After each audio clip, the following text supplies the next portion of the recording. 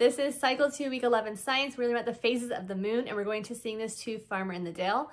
I will show you the hand motions and then we'll sing the song. So we're gonna go like this for new, then crescent, make a little crescent with your hand. Quarter, just put your hand flat against the crescent. Then gibbous, we're just gonna make it slightly wider and then you have full moon. So new, crescent, quarter, gibbous, full moon. So the song goes like this. What are the phases of the moon?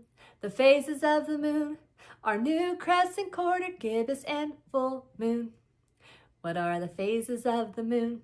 The phases of the moon are new crescent, quarter, gibbous, and full moon. We could try it with the hand motions. What are the phases of the moon?